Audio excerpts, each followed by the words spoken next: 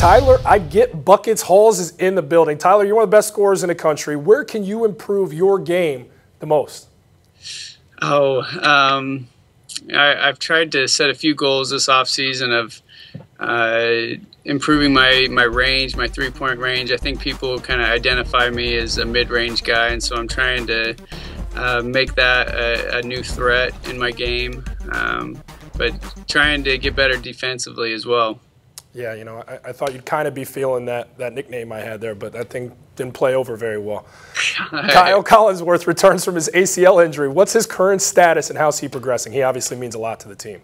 He does. He's a huge part of our team, and he's he's progressing really well. Uh, you know, last week we had a scrimmage that uh, he played most of the time in, and uh, he says his knee's feeling great. Um, he, he got to the rim a few times and, and, and dunked on a few people, and so he, I, I think he's back.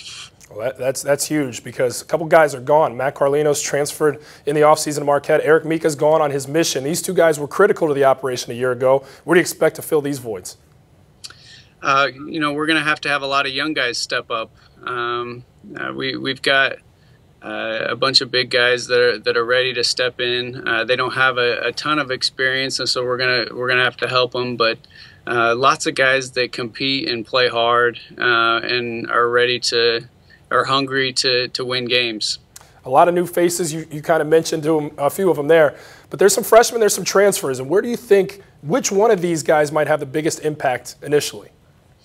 Um, you know in uh, as far as the big guys go, uh, we have a, a, new kid that just got back from a mission. His name's Corbin Kaufusi, who I could I could see uh, getting a lot of minutes and and uh, playing hard for us. Uh, Nate Austin's another a big guy that's going to help us.